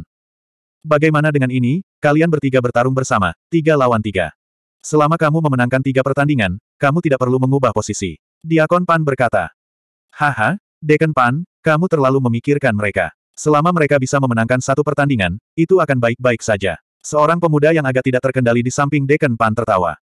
Kalau begitu, Tuan Muda Ming, Anda bisa melakukan ini. Apa pun yang Anda katakan. Diakon Pan tertawa. Kincuan memandang Tuan Muda Ming ini. Dia bisa melihat bahwa Deken Pan ini juga patuh pada Tuan Muda Ming ini. Dapat dilihat bahwa identitas Tuan Muda Ming ini tidak biasa. Oke, terima kasih, Deken Pan. Tuan Muda Ming tersenyum bahagia. Tuan Muda Ming terlalu sopan. Deken Pan berkata dengan cepat, nadanya sedikit tersanjung. Ini membuat Kincuan semakin penasaran. Apa identitas Tuan Muda Ming ini? 1226. Kincuan melihat Tuan Muda Ming ini. Dia sangat kuat, jika tidak, dia tidak akan begitu percaya diri. Lawannya sangat percaya diri dan sepertinya kemenangan ada dalam genggamannya. Kincuan tersenyum, bagaimana jika kamu kalah? Haha, apakah itu mungkin? Aku akan mengirimkannya kembali kepadamu. Apakah kamu menginginkannya? Tuan Muda Ming menggoda. Beberapa dari kalian lebih baik berbicara dengan Tuan Muda Ming. Tuan Muda Ming telah memberimu kesempatan. Jangan tidak berterima kasih, kata Deken Pan dengan dingin. Diakon Pan, anak muda perlu mengerti. Tuan Muda Ming tersenyum. Tuan Muda Ming, Anda murah hati, kata Deken Pan dengan cepat. Kincuan memandang Tuan Muda Ming, karena kita akan bertarung, maka mari bersikap adil. Siapa pun yang kalah akan mengambil alih posisi ini, bagaimana menurutmu? Beraninya kamu. Wajah Deken Pan berubah pucat saat dia berteriak. Kincuan tidak mengatakan apa-apa. Dia ingin tahu siapa Tuan Muda Ming ini. Mengapa Deken Pan begitu takut padanya? Dia memandangi Deken Pan dan berkata, Deken Pan, bisakah Anda memperkenalkan Tuan Muda Ming kepadaku? Huff, Tuan Muda Ming adalah cucu dari penatua Sekte Dewa Naga. Apakah kamu mengerti? Diakon Pan berkata. Qin Chuan secara alami mengerti. Sekte Master Sekte Naga Ilahi saat ini belum muncul selama 200 tahun. Sekarang, semua masalah utama dari Sekte Naga Ilahi diputuskan oleh Dewan Tetua. Penatua pertama adalah pemimpin Dewan Tetua, dan Tuan Muda Ming adalah cucunya. Kincuan tersenyum, Tuan Muda Ming, apa pendapat Anda tentang saran saya sebelumnya? Diakon Pan ingin mengatakan sesuatu, tetapi Tuan Muda Ming melambaikan tangannya. Dia memandang Kincuan dengan tatapan menggoda, oke, siapa pun yang kalah akan mengambil alih posisi ini. Kincuan tersenyum, bagus, Tuan Muda Ming sangat murah hati. Bagaimana dengan ini, kita akan bertarung tiga hari kemudian di medan perang yang gelap dan terang. Bagaimana menurutmu? Kata Kincuan. Maumu. Tuan Muda Ming berkata dengan percaya diri. Tuan Muda Ming dan Deken Pan pergi, tetapi berita pertarungan itu menyebar. Sekarang, banyak orang tahu bahwa beberapa pendatang baru ingin bertarung dengan Tuan Muda Ming. Ketika saatnya tiba, saya pasti akan pergi dan melihatnya. Siapa orang ganas yang berani menantang Tuan Muda Ming? Tuan Muda Ming, bukankah dia hanya mengandalkan prestise Penatua Agung? Tanpa Penatua Agung, siapa dia? Wow, kamu punya nyali, apakah kamu tidak takut Tuan Muda Ming akan mendengarmu? Pria dari sebelumnya sedikit gemetar dan menyelinap pergi. Sebenarnya, bahkan jika Tuan Muda Ming bukan cucu dari Tetua Agung, dia masih jenius. Dia sangat kuat, dan hanya sedikit di antara generasi muda yang menjadi tandingannya. Itu benar, karena dia berani bertarung melawan ahli terkenal, dia seharusnya memiliki kekuatan. Itu pasti. Apakah kamu mengenal Tuan Muda Tang? Dia adalah pemuda yang dengan mudah mengalahkan Tuan Muda Tang. Dia, lalu akan ada pertunjukan yang bagus. Pemuda itu hanya berada di alam abadi. Jadi bagaimana jika dia mengalahkan Tuan Muda Tang? Dia bukan apa-apa di tangan Tuan Muda Ming. Bagaimanapun, berita itu menyebar dengan cepat di Sekte Naga Ilahi. Segera, banyak orang tahu tentang itu. Raja Iblis sangat tenang ketika mendengar berita itu. Dia menggelengkan kepalanya sedikit. Orang ini tidak bisa tenang ke mana pun dia pergi. Dia berjalan keluar dari halaman rumahnya. Kincuan kembali ke halamannya dan melihat Raja Iblis dalam keadaan linglung. Dia berjalan dengan gembira. Kapan kamu datang? Baru saja tiba. Kamu benar-benar mengesankan sekarang. Raja Iblis tersenyum. Saya tidak ingin membersihkan toilet atau membuang kotoran, kata Kincuan. Tuan Muda Ming berpikiran sempit, tapi dia sangat kuat. Juga, Tetua Agung sangat menyayanginya, jadi kamu harus berhati-hati saat bertarung, kata Raja Iblis dengan prihatin. Tidak peduli seberapa protektifnya dia, dia tidak bisa melakukannya sendiri. Juga, aku hanya berlatih tanding. Kincuan tersenyum. Jika kamu bisa memberinya pelajaran, itu akan bagus. Raja Iblis tersenyum. Kincuan terkejut. Dia memandang Raja Iblis dan bertanya, apakah orang ini tertarik padamu? Dia datang ke Fakultas Kegelapan dan Cahaya untukku, kata Raja Iblis. Kau tidak menamparnya, tanya Kincuan. Apa, cemburu? Raja Iblis tersenyum pada Kincuan. Iya, cemburu. Kamu adalah wanita yang ditandai. Kamu hanya bisa menjadi wanitaku dalam hidup ini, kata Kincuan dengan marah. Apakah begitu? Raja Iblis tersenyum pada Kincuan. Kincuan tersenyum canggung. Iya. Baiklah, aku hanya memberitahumu untuk tidak khawatir. Kakak akan mendukungmu. Raja Iblis tersenyum. Kakak yang baik, ayo, biarkan aku memelukmu. Kincuan dengan senang hati memeluknya. Raja Iblis bereaksi, tapi dia sudah dipeluk. Dia tidak meronta, tidak bergerak, dan tidak memeluk Kincuan. Hei, apakah kamu masih marah? Kincuan memegang bahunya. Saya tidak marah. Kamu terlihat sangat menyedihkan. Ayo, biarkan kakak memelukmu. Kincuan memeluknya lagi. Raja Iblis terdiam. Dia mengulurkan tangan dan dengan ringan memukul dada Kincuan dua kali. Saya berhutang pada Anda, Raja Iblis berkata tanpa daya. Keduanya saling berpelukan. Mereka tidak menyadari bahwa Fatih dan White Light sudah masuk ke halaman. Tapi keduanya langsung tahu. Raja Iblis sangat tenang. Dia menepuk pundak Kincuan dan berkata sambil tersenyum, temanmu ada di sini. Aku akan pergi dulu. Salam, Dekan. Salam, Dekan. Raja Iblis mengangguk sambil tersenyum dan pergi. Fatih and White Light memandang Kincuan dengan aneh. Tatapan mereka dipenuhi dengan kecemburuan dan pemujaan. Semua orang tahu bahwa wanita tercantik di Sekte Naga Ilahi adalah dekan cabang cahaya dan kegelapan. Pesonanya mempesona dan tak tertandingi. Sosok itu, pesona itu, dan status itu, temperamennya bahkan lebih menarik. Dia adalah peri iblis, seorang wanita dengan ki abadi dan ki iblis hidup berdampingan. Dia tampak seperti peri di luar, tetapi hatinya mempesona dan menawan seperti iblis. Setiap cemberut dan senyuman bisa memikat jiwa seseorang. Kakak, mulai sekarang, kamu adalah kakak laki-lakiku. Light Light memeluk paha kincuan dan bersujud di tanah. Fatih menggaruk kepalanya dan berkata dengan jujur, kakak, ajari aku cara mengejar gadis. Kincuan memandang Fatih dan bergidik. Tampaknya segala sesuatu di dunia merindukan lawan jenis. Waktu berlalu dengan cepat. Hari ini adalah hari pertempuran antara kelompok Kincuan dan kelompok Tuan Muda Ming. Pada saat ini, medan pertempuran cabang cahaya dan kegelapan sudah dikepung oleh banyak orang. Orang-orang dari cabang lain juga datang, dan bahkan ada banyak sesepuh. Tuan Muda Ming adalah sosok berpengaruh di Sekte Naga Ilahi. Pada saat ini, dia berdiri di bawah medan perang dengan main-main. Ada banyak orang di sekitarnya, dan kelompok Kincuan tampak sedikit lusuh. Tuan Muda Ming naik saat ini. Dia tersenyum dan melihat ke bawah, tatapannya menyapu kerumunan. Dia tampan, memiliki status termasyur, dan kuat. Banyak wanita menyukainya. Hari ini, saya bermain dengan tiga pemula. Semua orang tahu peran para pemula, tetapi ketiga pemula ini tidak puas dan ingin menantang saya. Siapa pun yang kalah akan bertanggung jawab atas jamban. Meskipun ini tidak adil bagi saya, saya tidak akan berdebat. Anggap saja aku merawat para pemula. Tuan Muda Ming berkata dengan keras. Tuan Muda Ming murah hati. Kerja bagus, Tuan Muda Ming. Tuan Muda Ming, pukul mereka habis-habisan. Beritahu mereka urutan kedatangan. Huff, Tuan Muda Ming hanya bisa menggertak para pemula. Suara menghina terdengar. Orang yang berbicara juga seorang pemuda. Dia juga sangat tampan, tapi dia terlihat sedikit sombong. 1227. Tuan Muda Zhang masih sangat bosan. Tuan Muda Ming tersenyum pada pemuda itu. Pria muda itu memutar matanya dengan jijik. Kamu hanya sangat menjanjikan. Tuan Muda Ming tidak marah. Ini memberitahu Kincuan bahwa status Tuan Muda Zhang ini tidak rendah.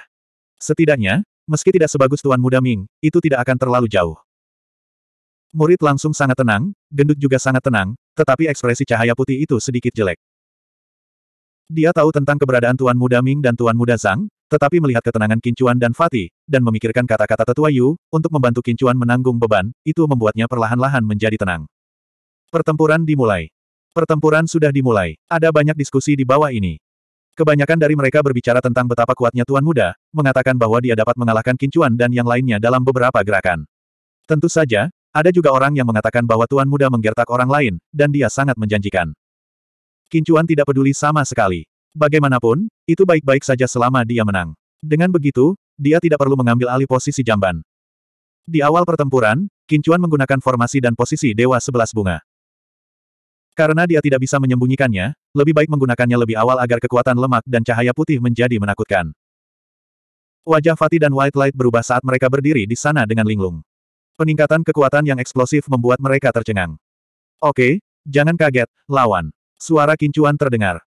Fatih sangat bersemangat, begitu pula White Light. Kemampuan ini terlalu kuat, begitu kuat sehingga sulit dipercaya. Tetapi pada saat ini, suara kincuan terdengar lagi. Bagus kalau kita bertiga tahu tentang ini. Iya, Ya, kakak, kami mengerti. Fatih dan White Light berkata dengan gelisah. Untuk bisa sampai sejauh ini, yang mana salah satu dari mereka sangat pintar, sehingga mereka tahu apa yang harus mereka lakukan. Pada saat ini, Qin Chuan mengeluarkan busur berat misteriusnya. Dia sudah lama tidak menggunakannya. Panahan Tyrannosaurus. Qin Chuan mencabut panah dan kemudian melepaskan kekuatan naganya. Dalam sekejap, gambar naga muncul di busur dan anak panah, disertai raungan keras. Swoosh! Kincuan melakukan langkah pertama. Aliran cahaya kemasan, seekor naga emas melesat melintasi langit, menyerbu ke arah Tuan Muda Ming seperti meteor yang mengejar bulan. Huh, melebih-lebihkan dirimu sendiri. Tuan Muda Ming mendengus dingin, dan pedang patah muncul di tangannya. Pedang pembunuh naga. Kincuan melihat nama senjata ini. Itu memiliki kemampuan menahan yang kuat terhadap atribut naga. Segala sesuatu di dunia memiliki lawan alami satu sama lain, seperti bagaimana lima elemen memiliki lawan alami satu sama lain. Klan naga sangat kuat, tetapi bahkan klan naga yang kuat pun memiliki musuh alami. Rok bersayap emas yang legendaris harus makan naga setiap hari. Keberadaan macam apa ini? Namun, naga dewa legendaris dapat dengan mudah membunuh rok bersayap emas. Ledakan. Panah kincuan dipatahkan oleh Tuan Muda Ming. Dia menyerbu ke kincuan, tapi dia dihentikan oleh Fatih. Tubuh besar Fatih memiliki staf yang besar. Dengan pasukan pemecah gunung, dia memblokir jalan Tuan Muda Ming, menyebabkan dia mundur dalam keadaan menyesal. Wajah Zhang Xuan menjadi gelap.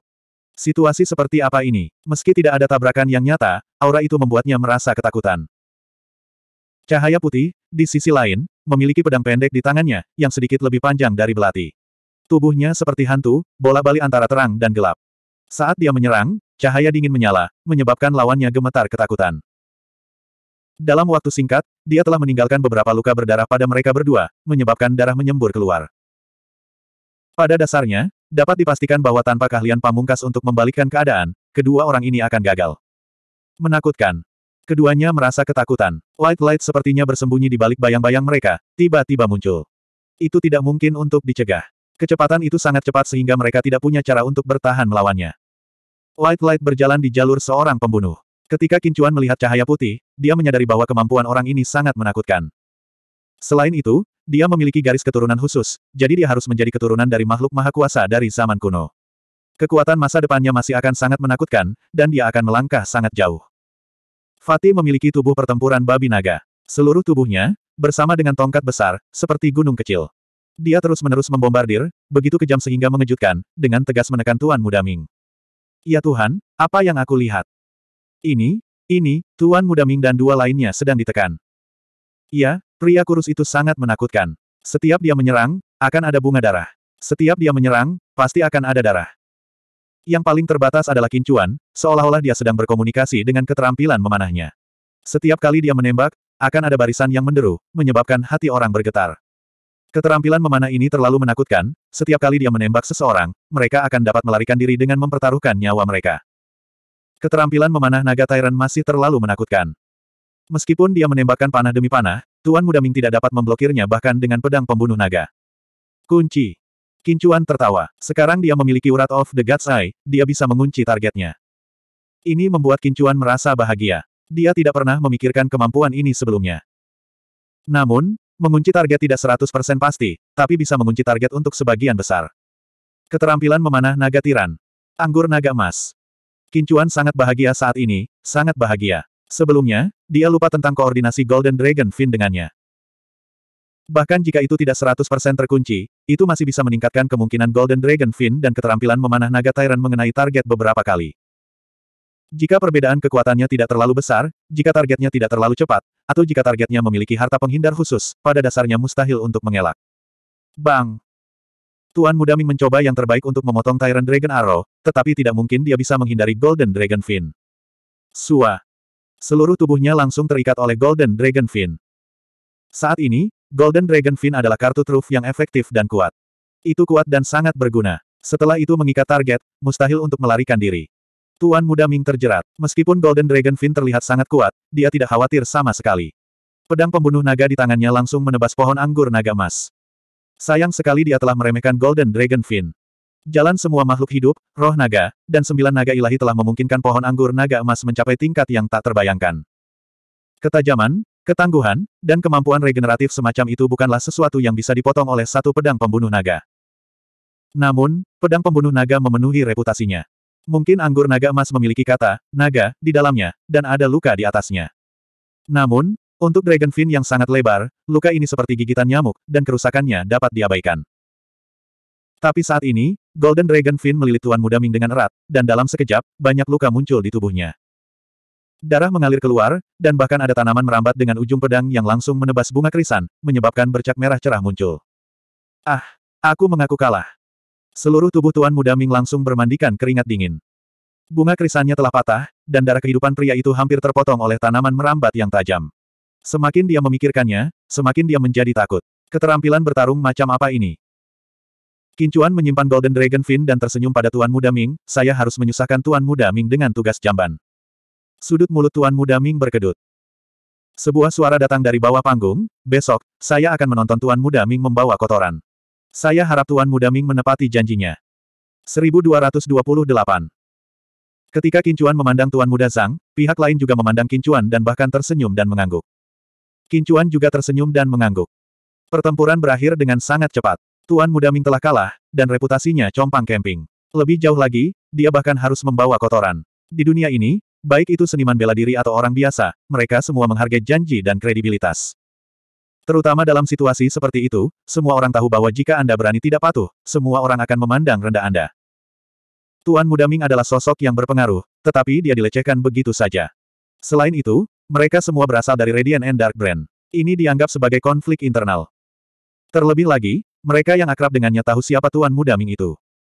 Tak perlu dikatakan, Tuan Muda Ming ingin mengacaukan para pendatang baru, tetapi dia dipukuli. Kincuan awalnya sudah memiliki sedikit ketenaran. Lagi pula, Tuan Muda Tang dengan mudah dikalahkan oleh Kincuan. Sekarang dia mengalahkan Tuan Muda Ming, dia menjadi pusat perhatian sejenak. Banyak orang bertanya tentang berita Kincuan. Selain itu, Fatih and White Light juga menjadi terkenal. Penampilan Fatih juga sangat eye-catching. Lagi pula, dia bisa menggunakan tongkat besar untuk memblokir Tuan Muda Ming, dan Tuan Muda Bai seperti pejalan malam dengan belati. Dua rekan Tuan Muda Ming tidak memiliki kekuatan untuk melawan sama sekali. Light Light tahu bahwa jika Kincuan tidak meningkatkan kecepatannya lebih dari 10 kali lipat, dia secara alami tidak akan dapat melakukannya sekarang. Ada juga Fatih. Fatih bisa sangat gagah berani, yang juga menjadi alasan mengapa dia memiliki keunggulan dalam kecepatan dan kekuatan. Secara alami, itu sangat mudah. Ini juga merupakan teror dari posisi Dewa Sebelas Bunga dan formasi susunan level 11. Yang lain secara alami juga memiliki formasi susunan dan beberapa kemampuan, tetapi pasti ada celah antara mereka dan posisi Dewa Kincuan dan formasi susunan, dan celah ini tidak kecil. Setelah pertempuran, ada banyak diskusi.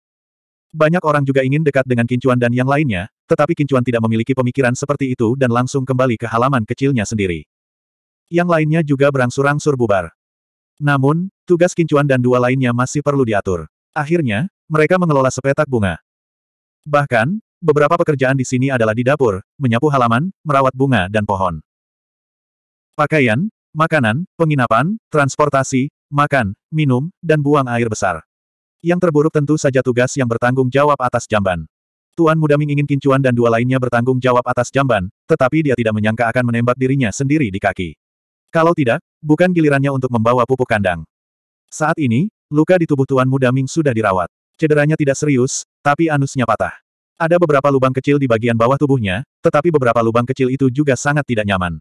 Ini membuatnya sangat membenci Kincuan. Dia ingin memotong Kincuan menjadi ribuan keping. Hal lainnya adalah dia harus membawa pupuk kandang keesokan harinya. Memikirkannya saja membuatnya sangat tertekan hingga ingin muntah darah. Tidak ada yang akan mengatakan apa pun jika dia tidak pergi, tetapi jika dia melakukannya, dia akan benar-benar kehilangan muka.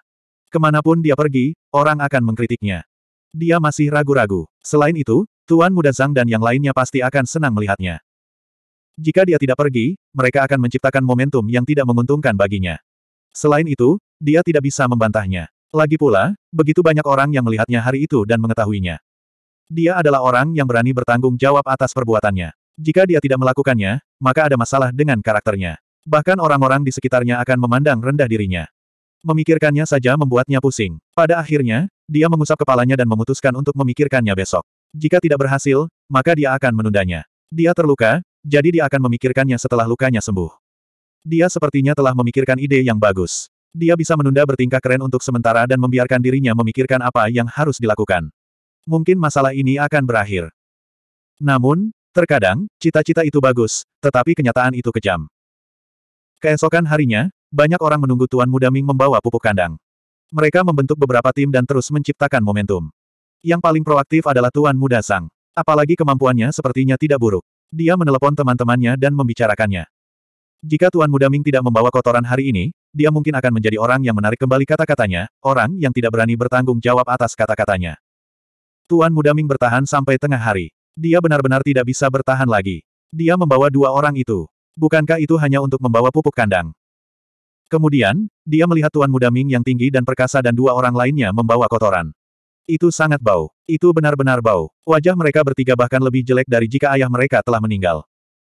Kapan mereka pernah melakukan hal seperti itu sebelumnya? Tuan Muda Zhang dan yang lainnya memandang Tuan Muda Ming dan dua lainnya dengan gembira. Mereka menunjuk ke arah mereka dan mengobrol. Tuan Muda Ming, caramu membawa kotoran sangat mengesankan. Posisi ini secara alami diatur untukmu. Tuan Muda Ming hampir melemparkan kotoran yang dibawanya ke kepala Tuan Muda Sang. Kincuan tidak pergi menemui Tuan Muda Ming membawa kotoran. Fatih dan White Light pergi. Masalah ini berlalu begitu saja. Cara yang mengesankan terhadap Tuan Muda Ming yang membawa kotoran terutama untuk melihatnya. Oleh karena itu, Tuan Muda Ming hanya dibawa selama tiga hari. Namun, tiga hari ini hampir membuatnya gila. Setelah kebaruan berlalu, Tuan Muda Ming juga orang yang bertanggung jawab. Setelah itu, ketika orang membawa kotoran, Tuan Muda Ming tidak membawanya lagi. Tuan Muda Zhang dan yang lainnya tidak memperhatikannya. Bagi mereka, itu sudah cukup selama Tuan Muda Ming bisa membawanya sekali. Ini sudah membuat Tuan Muda Ming kehilangan muka. Raja Iblis makan dengan sangat bahagia. Setelah makan, dia berkata, Tuan Muda Ming itu mungkin sangat membencimu sekarang. Terlalu banyak orang yang membenciku. Aku tidak peduli jika ada satu lagi. Kincuan tersenyum. Klan Ming pasti akan mengirim orang untuk menemukanmu. Ingat, mereka tidak akan menyerangmu dengan paksa. Tidak apa-apa selama kamu tidak menyetujui tantangan mereka, kata Raja Iblis. Tidak apa-apa. Jangan khawatir, aku tahu apa yang harus dilakukan. Kamu sangat baik padaku. Kincuan tersenyum pada wanita yang mempesona dan seperti peri ini. Wanita ini dewasa dan mulia, seperti wanita bangsawan alami. Anggun dan menawan, ada kalanya dia seksi dan menawan, seperti wanita kecil. Semakin banyak waktu yang dia habiskan bersamanya, semakin dia menemukan bahwa wanita ini memiliki pesona yang tak tertahankan. Kincuan mengangkat kepalanya dan dengan ringan menyapukan tangannya ke bibir Raja Iblis. Ada sebutir nasi di sudut mulutnya. Wajah Raja Iblis langsung memerah. Dia sedikit menundukkan kepalanya. Kincuan juga terkejut. Tindakan tadi terlalu alami, hampir tanpa pemikiran apa pun. Dia masih bisa merasakan kelembutan bibirnya ketika jarinya menyentuhnya. Sejenak, Suasana di dalam ruangan menjadi hening, bahkan suara nafas dan detak jantung menjadi jelas. Musuh. Raja Iblis dengan lembut menghela nafas. Kincuan gemetar dan dengan ringan berjalan mendekat. Dia secara alami mengerti apa yang Raja Iblis pikirkan, tetapi dia juga tahu bahwa Raja Iblis melakukan yang terbaik untuk menahan diri. Ah, kamu wanita. Kincuan mengangkatnya. Raja Iblis tidak berjuang, juga tidak panik.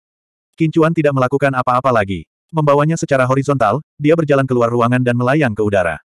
Burung gereja naga lima warna muncul dan kincuan mendarat di punggungnya. Langit tinggi dan laut luas, langit biru dan awan putih. Burung gereja naga lima warna melesat melintasi langit. Angin melolong di udara. Raja Iblis bersandar di dada kincuan, matanya terpejam saat dia dengan lembut berkata, Aku tidak bisa melupakanmu, aku juga tidak bisa melupakanmu, tapi aku tidak ada di hatimu. Suara Raja Iblis sangat suram. Kamu ada di hatiku, kata kincuan. 1229 Kincuan panik. Dia benar-benar tidak mengira Raja Iblis akan menangis. Dia benar-benar menyukainya. Sang Buddha berbicara tentang delapan penderitaan, penderitaan yang tidak dapat diperoleh. Menyukai seseorang, tetapi pihak lain tidak menyukaimu, ketidakberdayaan semacam itu. Kincuan menundukkan kepalanya dan mencium air matanya. Tubuh Raja Iblis gemetar saat dia membenamkan wajahnya di dada Kincuan. Bukannya aku tidak menyukaimu. Kamu sangat cantik, begitu anggun dalam keanggunanmu. Pria mana pun akan menyukaimu, kata Kincuan. Apakah begitu? Tanya Raja Iblis. Aku bersumpah, kata Kincuan. Kamu tidak mencintaiku, kata Raja Iblis. Kincuan memandang Raja Iblis dan berpikir sejenak. Mungkin karena kita jarang bersama, jadi kamu tidak bisa merasakan cintaku padamu. Prasyarat untuk mencintai seseorang adalah menyukainya. Semakin kamu menyukainya, semakin kamu akan mencintai mereka di masa depan. Lupakan saja, ini tidak bisa dipaksakan. Itu tidak akan membuatmu bahagia. Raja Iblis tiba-tiba tersenyum. Mengapa kamu tidak mempertimbangkan untuk mengambil tubuhku terlebih dahulu, lalu hatiku, kata Kincuan dengan serius. Mati. Raja Iblis membuka mulutnya dan menggigit dada Kincuan. Seluruh tubuh Kincuan bergetar. Kincuan berpakaian sangat tipis, jadi gigitan Raja Iblis kebetulan mendarat di dada Kincuan, dan itu bahkan merupakan tempat khusus. Perasaan asam itu. Dengan ini, Kincuan segera berubah, dan Raja Iblis secara alami merasakannya. Dengan wajah merah, dia turun dari tubuh Kincuan dan secara tidak sengaja melirik Kincuan. Kincuan sedikit membalikkan tubuhnya. Keduanya agak malu. Bajingan kecil, wajah Raja Iblis itu merah. Melihat rasa malu Kincuan, dia melangkah maju dan berdiri di depan Kincuan. Sebenarnya, dia sangat pemalu, jadi dia menundukkan kepalanya. Ketika dia menundukkan kepalanya, dia melihat pemandangan yang membuat hatinya berdebar. Dia mengulurkan tangan dan meraih tangan Kincuan, berdiri berdampingan dengan Kincuan saat mereka melihat ke kejauhan. Dalam aroma yang samar, Kincuan sedikit menutup matanya dan mencengkeram erat tangan putih Raja Iblis. Kincuan dengan paksa menarik Raja Iblis ke pelukannya. Raja Iblis tersipu saat dia memelototi Kincuan. Dia adalah Raja Iblis, seorang wanita dewasa dan elegan. Sosoknya yang tinggi dan ramping tidak jauh lebih pendek dari Kincuan. Saat ini, dipeluk oleh Kincuan, dia bingung dan sangat gugup. Masa lalu terus berkedip di depan matanya. Itu tidak rusak. Kincuan tersenyum. Apa yang tidak rusak? Raja Iblis terkejut. Bukankah kamu bilang aku bajingan kecil? Aku tidak. Telur itu masih baik-baik saja. Tidak kecil. Kamu bisa memeriksanya, kata Kincuan malu-malu. Bocah busuk, kamu sudah dewasa. Kamu bahkan berani menggoda kakak perempuan, kata Raja Iblis marah dengan wajah merah. Kincuan tiba-tiba membungkuk dan menutup mulut kecilnya dengan senyuman. Dia menciumnya dengan rakus. Ini adalah kedua kalinya. Terakhir kali adalah ciuman paksa. Terakhir kali untuk menyelamatkan nyawa, tapi kali ini untuk berciuman. Ketika berbicara tentang pria dan wanita, Raja Iblis tidak jauh berbeda dengan selembar kertas kosong. Dia benar-benar pasif, wajahnya merah, matanya tertutup rapat, tubuhnya gemetar, jantungnya berdebar kencang. Seluruh keberadaannya tampak berada di ruang yang tidak nyata. Pada saat dia sadar kembali, semuanya telah jatuh ke tangannya. Dia secara naluriah mendorong Kincuan, benang kristal masih menghubungkan bibir mereka. Kamu milikku, kata Kincuan sambil tersenyum. Tidak. Lalu siapa wanitamu? Aku tidak butuh laki-laki. Bagaimana perasaanmu barusan? Kincuan menyeringai padanya. Benda busuk, bajingan besar. Raja Iblis itu seperti seorang gadis kecil, terengah-engah karena marah. Wajahnya merah, dan dia tidak berani menatap Kincuan. Seorang Raja Iblis, seorang wanita dengan kecantikan tiada taraf, ekspresi semacam ini memberi kincuan dampak visual yang cukup besar, dan dia hampir kehilangan kendali atas dirinya sendiri. Tanpa disadari, kincuan telah berada di Sekte Naga Ilahi selama sebulan. Semuanya begitu tenang dan biasa. Raja Iblis kadang-kadang datang untuk menumpang makan, dan White Light dan Fatih juga kadang-kadang datang untuk menumpang makan. Setiap kali Raja Iblis datang, dia akan dipeluk dan digerogoti oleh kincuan. Hubungan antara keduanya telah mencapai tahap ini, sepertinya tidak bisa maju lebih jauh lagi, tapi ini sebenarnya sudah sangat intim. Memeluk, mencium, Kincuan ingin melangkah lebih jauh, tetapi dia akan dihentikan setiap saat. Itu sama kali ini. Keduanya mengenakan piyama tipis, Raja Iblis bersarang di pelukan Kincuan. Ini sudah malam, dan ini bukan pertama kalinya Raja Iblis menghabiskan malam di sini. Kincuan tersenyum pahit saat dia memeluk wanita ini, merasakan sakit dan kegembiraan. Raja Iblis berbalik dan menghadap Kincuan. Dia tersenyum pada Kincuan, wajahnya sedikit merah. Kincuan, bisakah aku bertanya padamu? Berbicara. Apa Anda punya anak? Raja Iblis bertanya dengan rasa ingin tahu sambil mengedipkan mata yang sangat indah itu. Kincuan mengangguk. Aku punya anak perempuan. Berapa umur? Mata indah Raja Iblis berbinar. Hampir dua tahun, kata Kincuan. En, kamu bertanya tentang ini. Mata Kincuan berbinar saat dia melihat Raja Iblis. Jangan biarkan imajinasimu menjadi liar, aku, Raja Iblis tersipu. Kincuan terkejut, lalu dia menatapnya sambil tersenyum. Jika seorang wanita tidak memiliki anak dalam hidupnya, itu akan menjadi penyesalan terbesar dalam hidupnya. Pernahkah Anda berpikir untuk menjadi seorang ibu dan melihat pria kecil yang Anda lahirkan, merah muda dan berukir batu giok, pintar dan imut, memanggilmu ibu? Kincuan melukis gambar yang indah untuk Raja Iblis. Raja Iblis dalam keadaan linglung. Mengapa kita tidak memilikinya? Kincuan menyihirnya. Ah, En, bermimpilah. Aku tidak akan melahirkan satu pun untukmu. Raja Iblis tersipu saat dia meringkuk di pelukan Kincuan. Lalu kamu akan melahirkan siapa sayang? Kincuan tersenyum. Raja Iblis tidak mengangkat kepalanya. Bajingan ini, bajingan kecil, memanggilku dengan sangat menjijikkan, tapi dia merasa aneh di hatinya. Perasaan ini melekat di hatinya, sedikit bersemangat, sedikit bahagia. Apakah ini perasaan cinta? Kincuan, turnamen sembilan Akademi Sekte Dewa Naga akan dimulai bulan depan, kata Raja Iblis. Kincuan telah mendengar beberapa berita sebelumnya, tetapi dia tidak mengingatnya. Sekarang dia mendengar kata-kata Raja Iblis, dia secara alami harus mengerti. Tentang apa turnamen sembilan akademi ini?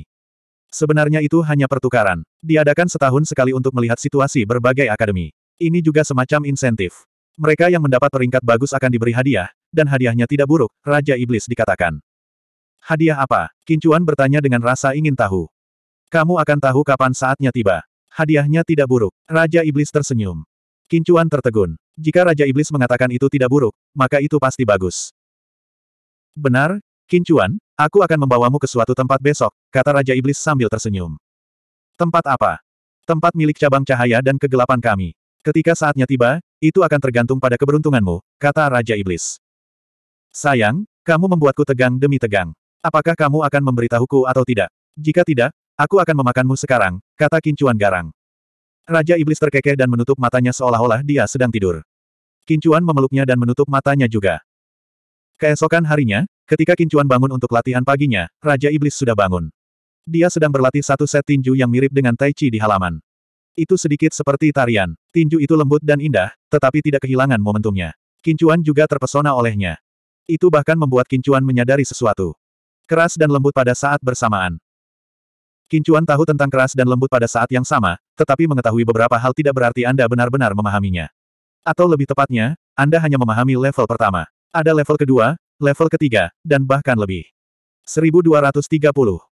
Menggabungkan kekuatan dengan kelembutan.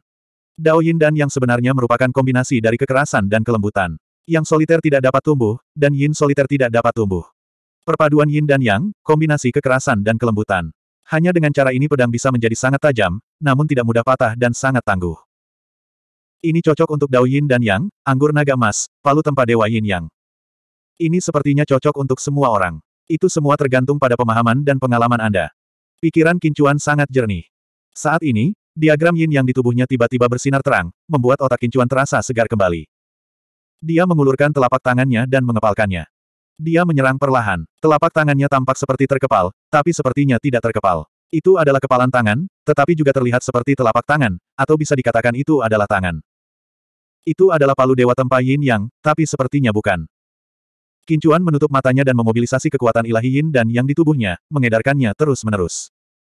Segala sesuatu di dunia terbagi menjadi yin dan yang. Di mana pun kekuatan ilahi yin dan yang lewat, Sein Ki dalam tubuh Kincuan dan kekuatan lain akan menyatu dengan kekuatan ilahi yin dan yang. Ledakan. Fusi yin dan yang. Ini adalah perpaduan sejati yin dan yang, perpaduan yin dan yang di dalam Kincuan sendiri. Engah. Alam setengah Sein setengah langkah. Dia memiliki terobosan. Tidak hanya dia berhasil menembus ke alam semi bijak setengah langkah, tetapi dia juga tidak jauh dari apa yang disebut alam semi bijak. Nyatanya, sepertinya dia bisa melihat gerbang alam semi bijak. Kekuatan ilahi yin dan yang di tubuhnya telah berlipat ganda. Selain itu, itu telah menyatu dengan banyak kekuatan. Namun, kekuatan dewa dan Buddha belum menyatu dengannya. Dan kekuatan naga ilahi. Kincuan tahu bahwa jika dia benar-benar bisa memadukan kekuatan ini menjadi satu di masa depan, itu pasti akan sangat menakutkan. Memikirkannya saja membuatnya sedikit bersemangat. Membuka matanya, dia melihat Raja Iblis ada di dekatnya, tersenyum padanya. Aku menerobos. Raja Iblis berkata dengan gembira. En, kamu benar-benar bayiku. Jika bukan karena kamu, aku butuh waktu lama untuk menerobos. Kincuan berkata sambil mengangkatnya. Saat itu sudah tengah hari, dan tidak perlu sarapan. Matahari bersinar turun, membuat orang merasa sangat nyaman. Ngomong-ngomong, ke mana kamu akan membawaku hari ini? Kincuan bertanya. Ayo pergi, kamu akan tahu saat kita sampai di sana. Raja Iblis tersenyum. Itu adalah sebuah gua. Nagaki sangat kuat. Kincuan mengikuti Raja Iblis. Ini adalah area sumber daya milik cabang cahaya dan kegelapan. Saat Kincuan mendengarkan pengenalan Raja Iblis, dia melihat sekeliling. Dinding gua semuanya berwarna keemasan, seolah-olah terbuat dari logam. Setelah beberapa putaran dan belokan, dia tiba di sebuah gua besar. Kolam kecil, atau lebih tepatnya, sumur kecil, mengeluarkan kabut seputih salju. Ini, Kincuan bertanya. Ini semua adalah sumur kecil yang telah diresapi dengan energi drakonik. Semuanya ada lima elemen, dan beberapa di antaranya adalah energi yang sangat buruk, energi iblis, energi abadi. Kata Raja Iblis. Mata Kincuan berbinar. Sebenarnya, ini hanya sumber daya terlemah dari Sekte Naga Ilahi. Salah satunya bukan milik cabang mana pun. Jika Anda mendapatkan peringkat yang bagus dalam kompetisi seni bela diri dari sembilan akademi, Anda dapat pergi ke sana untuk menggunakan sumber daya yang lebih baik. Jika tidak ada yang salah, Anda dapat menerobos ke alam setengah orang suci. Kata Raja Iblis. Mata Kincuan berbinar. Alam setengah orang suci, yang dirindukan Kincuan. Begitu dia mencapai alam setengah Sein, Kincuan akan memiliki kepercayaan diri yang cukup. Pada saat itu, dengan kekuatannya, dia seharusnya memiliki status di Sekte Naga Ilahi. Pasti tidak akan ada seorang pun di generasi muda yang akan menjadi tandingannya. Kamu hanya bisa memilih satu, kata Raja Iblis. Kincuan merasakan sebentar dan menemukan yang memiliki energi drakonik terpadat. Itu dari elemen api. Sumur kecil itu panjangnya sekitar enam kaki dan lebarnya, dan dalamnya kurang dari satu meter. Genangan larutan berwarna merah menyala dan memancarkan gas merah. Kincuan memandang Raja Iblis. Apakah kamu ingin bergabung dengan kami? Raja Iblis menggelengkan kepalanya. Tidak. Kincuan hanya menggodanya. Dia langsung melepas pakaiannya dan benar-benar telanjang. Raja Iblis tersipu saat dia melihat punggung Kincuan. Dia bugar dan maskulin, yang membuatnya kehilangan akal sehatnya sejenak. Kemudian, wajahnya berubah lebih merah. Dia dengan marah berkata, betapa tak tahu malu. Kincuan, di sisi lain, tertawa dengan bangga. Raja Iblis tidak bisa berkata apa-apa. Dia duduk bersila dengan punggung menghadap Kincuan. Kincuan merasakan kekuatan naga dan kekuatan elemen api yang terus-menerus memasuki tubuhnya. Benih api bumi dan benih api yin yang dengan mudah menyerap kekuatan elemen api. Sembilan dewa naga juga dengan rakus menyerap energi drakonik dan kekuatan naga. Hanya dalam waktu yang dibutuhkan sebatang dupa untuk terbakar, energi di sumur kecil itu benar-benar terserap. Air di sumur kecil itu juga mengering, tidak menyisakan setetes pun. Kincuan berjalan. Pada saat ini, Raja Iblis berkata, begitu cepat. Iya, tepat pada waktunya, Kata Kincuan sambil mengenakan pakaiannya. Apakah kamu ingin melihat? Begitu aku mengenakan pakaianku, kamu tidak akan bisa melihatnya. Kincuan tertawa. Siapa yang mau melihatnya? Raja Iblis berkata dengan marah. Kau benar-benar tidak ingin melihatnya. Kata Kincuan main-main. Aku tidak ingin melihatnya. Raja Iblis berkata dengan tegas. Kalau begitu jangan menyesalinya. Jika kamu ingin melihatnya lain kali, kamu harus membayar. Kata Kincuan. Puff. Raja Iblis tidak bisa menahan tawa. Baiklah, bajingan. Cepat pakai bajumu. Kincuan mengenakan pakaiannya dan melihat sekeliling. Ada banyak sumur kecil di sini. Mereka dapat digunakan ketika mereka penuh. Butuh waktu tiga tahun bagi mereka untuk mengisinya. Sumber daya ini juga sangat berharga. Lagi pula, tidak banyak sumur di sini, hanya sekitar sepuluh. Tidak banyak orang di Fakultas Terang dan Kegelapan, tetapi masih ada sekitar seratus orang. Hanya sekitar sepuluh orang yang bisa menggunakannya setiap tiga tahun sekali. Jika semua orang ingin menggunakannya sekali, itu akan memakan waktu 30 tahun. Ini normal. Namun, sumber daya tidak bergilir. Mereka harus berjuang untuk itu. Beberapa orang bisa menggunakannya berkali-kali, sementara yang lain bahkan tidak bisa menggunakannya sekalipun. Setelah pergi, Raja Iblis memiliki sesuatu untuk ditangani dan pergi. Kincuan kembali sendirian. Kincuan. Mendengar seseorang memanggilnya, dia berbalik. Hah? Itu adalah Tuan Muda Zhang. Halo, kata Kincuan sambil tersenyum. Dikatakan bahwa lawan-lawan adalah teman. Meskipun Kincuan tidak memperlakukan Tuan Muda Zhang sebagai lawan, dia masih menyimpan dendam padanya. Oleh karena itu, dia memiliki kesan yang lebih baik tentang Tuan Muda Zhang ini. Setidaknya Tuan Muda Zhang ini tampak lebih tegak. Halo, nama saya Zhang Ye. Saya ingin tahu apakah saya mendapat kehormatan untuk mentraktir Anda minum. Tuan Muda Zhang berkata sambil tersenyum. Sama-sama, aku akan mentraktirmu minum, kata Kincuan. Kali ini hadiahku, lain kali hadiahmu. Ayo pergi. Tuan Muda Zhang berkata dengan santai. Sekte Dewa Naga memiliki restoran. Bagaimanapun, ini adalah sekte yang sangat besar dengan begitu banyak orang. Namun, restoran tersebut dibuka oleh orang-orang dari Sekte Naga Dewa, seperti keluarga Ming. Restoran ini dibuka oleh keluarga Ming. Mereka berdua masuk dan memesan meja yang penuh dengan piring dan sebotol anggur yang enak. Saudaraku, sejujurnya, aku merasa kita cocok saat aku melihatmu. Jika aku kasar, tolong maafkan aku. Tuan Muda Zhang tersenyum. Kakak, kamu terlalu sopan. Aku juga sangat senang berteman denganmu. Kincuan mengangkat cangkir anggurnya. Keduanya mendentingkan gelas dan meletakkannya. Anggur belum dituangkan.